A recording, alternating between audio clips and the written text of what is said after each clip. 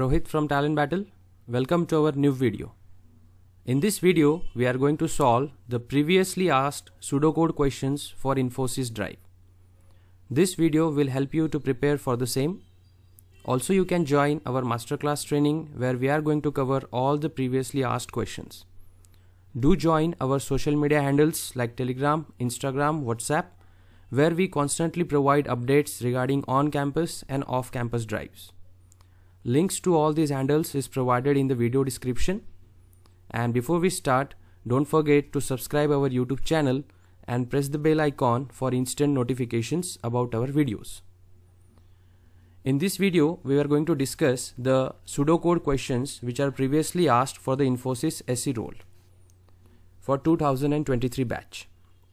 As you all know, they have started the hiring process for 2023 batch and in this particular SE role, they have one section called as pseudocode questions where they are going to ask you the five questions and every question carries two marks equal weightage.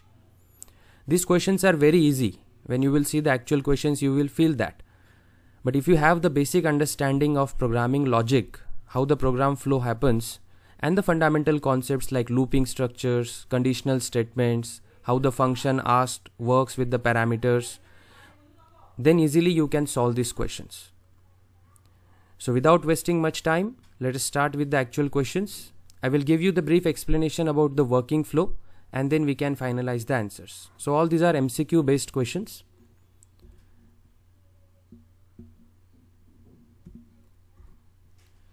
Read the first question try to predict the output they have provided us with the pseudocode so pseudocode is nothing but the actual code it is not matching with your programming languages right pseudocode is like dummy one which will give me the idea about the flow of the program like instructions are there so we need to assume that instructions are working fine and based on that you have to develop the logic flow of the program and then predict the output so in the first question, they are asking that what will be the expected output for the provided pseudocode. See, they have mentioned here characters A, B, C, D. So all these are nothing but the character type of variables and they are assigning values to this. A is equals to a character A, then character B, character C and character D.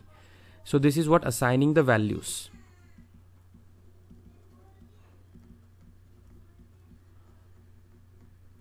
After that, they are trying to print this variable values like a plus b plus c plus d. Now easily you can get the idea from this that all these are nothing but the ASCII values. So little bit information about the ASCII knowledge will help you to solve this question easily. So the ASCII value for A, B, C and D and addition of all these ASCII values will be my final result, right? So if you consider the ASCII value for A that is 97, B that is 98, C that is 99 and D that is 100 and if I add all of them I will give like this an addition of all this will give me 394 and see the provided option is also there 394 so the correct answer for this is option D. So in pseudocode you will not be having that permission to complete this code in actual language and then try to cross check it. So the programming logic only how the program flows that will help you to solve these questions. And very easy one once you are done with the fundamental things basic programming knowledge will be sufficient to complete all these questions. So first question answer 394 second question see predict the output of the following code snippet. So code snippet is there and if you see the while loop is utilized here and the value of i is also given that is 1 so if i take the while loop iterations first condition will be i is 1 1 is less than 6 and inside the loop they are printing the value of i and i is getting updated by i is equals to i plus 2 so this is my update expression with the help of which every iteration of the loop will change the value of i and it will again go and check the condition. So first i is 1 and 1 is less than 6 when this loop is working because this condition is true 1 is less than 6 so it will go inside the body of the loop and it will print the value of i right? So i will write down output in this case right? So print value of i and that is 1 here. So my first value output will be 1 after that i will get updated i is equals to i plus 2 so it will become 1 plus 2 that is 3 right? So i has been become 3 and again my loop goes and check the condition. So in second iteration now my value becomes 3 so it will check the condition. 3 is less than 6 this is also true. Then again print the value of i and now this time i is 3 so my output will be 3 then again i value modifies. Current value of i plus 2 that is 3 plus 2 this will give me 5 and again loop will check. In third iteration my while loop value i is 5 less than 6 and this is also true again it will print the value of i and this time the value of i is 5 so it will print 5 here. Then i value will get updated. Current value of i 5 plus 2 that will become 7 and then again loop iteration will be checked. Yes the fourth time also loop iteration will be checked. But this time the condition will become 7 less than 6 and this is false. And my loop will get terminate over here. So what output we received 1 3 and 5 so this is basic iteration of while loop and the value of i is printed so if you see the first option 1, 3 and 5 is the correct answer. So option A is correct here. Right. So basic knowledge of looping iteration will help you to solve this question. Next question. Predict the output for provided code snippet. Now here they have used bitwise operator here, bitwise AND. If you see, the concept of operator is utilized here. So the question is they have provided with value of a that is 2 so I am having these variables a is equals to 2 b is equals to 5 and the expression is c is equals to a and b. So this is bitwise and this is not logical one this is bitwise. And we all know that bitwise operator works on the binary bits so first if I convert this 2 to the binary value so I will get 0 0 1 0 then this 5 is again converted to binary value and this will be 0 1 0 1 right? And then we have to perform the bitwise AND operators AND operation on this. Now as per the truth table of AND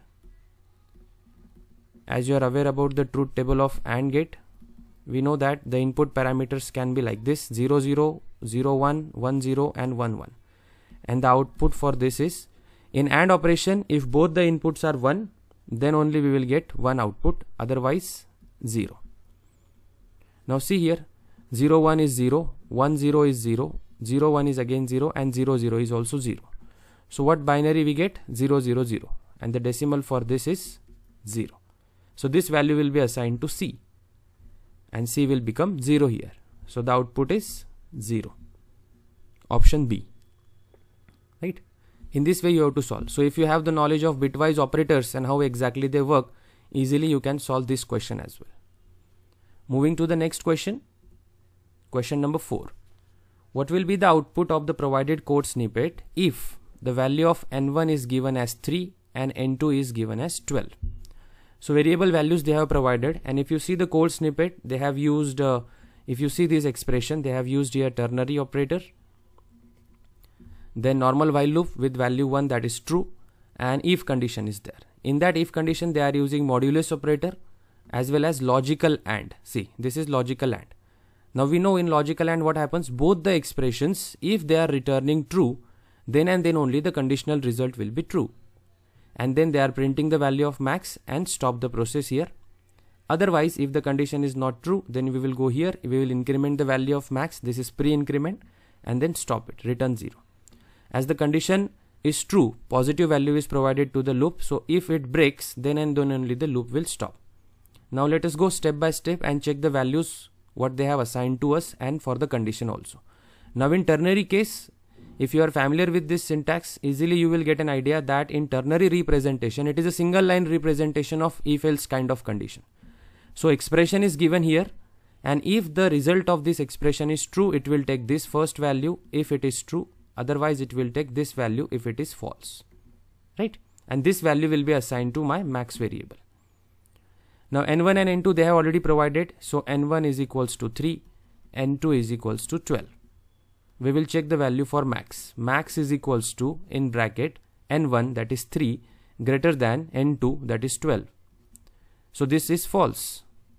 False means the value of n2 will get assigned to max. So now the value of max will become equals to n2 and that is 12. So I got the value for max that is 12. Then I will go with the loop iterations. While true, first condition is if max that is 12 modulus division with n1 that is 3 equals to equals to 0 logical and second expression is 12 modulus division with n2 that is 12 equals to equals to 0 now we have to check whether these two expressions are giving me true results or not. If both are true then the condition will be true. Now if you see 12 modulo 3 equals to equals to 0 this is also true. And 12 modulo 12 equals to equals to 0 this is also true so both are giving me true results. It means my condition is true and I will go inside the if block. And what I am doing here, I am printing the value of max. What is the current value of max? 12. So my output printing will be 12. After that break. Break means it will terminate the looping instructions. So after this termination, this much part is in loop na. So this entire block will get terminated and we will stop the process. So final output that we received will be 12 from here and option A is correctly resembling with the answer. So option A is correct answer over here, answer 12. Right. So ternary operator logic, then basic if conditional statements, looping statements will help you to understand how to go with the flow of the program and easily you can figure out the output here. Then last question, what will be the output of given code for array? So they have provided with array elements and the value of n is also given. So in such cases to save the time what you can do? Simply if you analyze the flow whatever they have provided in the pseudocode easily you can figure out the case. Okay? So array is given. So if I draw the structure of array as we know the indices we have to use for traversal and these are the elements that they have provided. And my indices will be 0 1 2 3 4 and 5 right? All these are my index values and if I take the size size or you can also call it as length of the array that will be total number of elements. There are six. So this parameter is six. They have mentioned a function here. See read one by line by line. Function start. Then function body is there. In function if you get the idea it is returning an integer value and it accepts two parameters. First parameter is an array. Second parameter is the value of n. This value is also provided to us. n is equals to 17 then one variable declaration integer result and result value is initialized to 0. Then loop is there for loop which starts from 0 to less than length of array and that we have already calculated 6. So this condition will be i less than 6 and update expression i plus plus. Inside this I am checking one condition that is if a of i the element is equals to equals to n. If this condition is true then I will assign the value of i to result means my result variable is getting updated here then break. End of if then else condition is also there. If this is false then it will go to the else block and i am assigning minus 1 to my result variable. Then else complete we will return the value of result whatever it is and then function completes. Right? Now go step by step and check for the condition. So result is initialized to 0 then loop starts. I is equals to 0 means i am targeting this element. I is 0 less than 6 so condition is true. I will check the condition. If a of 0 is equals to equals to n so what is a of 0 1 equals to equals to n. What is n? 17 so this is false. Control will go to the else block. And what I am doing in else block? Minus 1 so result will become minus 1 see. And block ends. We will return the value of result. Function ends right? Then value of i if you are going to check for now in normal cases what you can do simply by this logical flow you can directly analyze that all my elements of the array are not going to equals to the value of n and that is what i am checking here. So within quick time you can directly figure out the solution that will be minus 1 right? So it will result into minus 1 and final answer is this b. Option b. It will go with minus 1 right?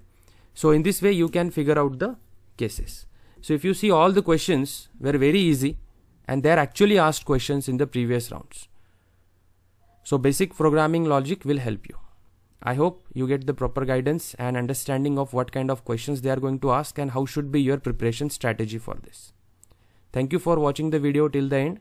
Do subscribe our social media handles as well as YouTube channel for constant updates. Thank you.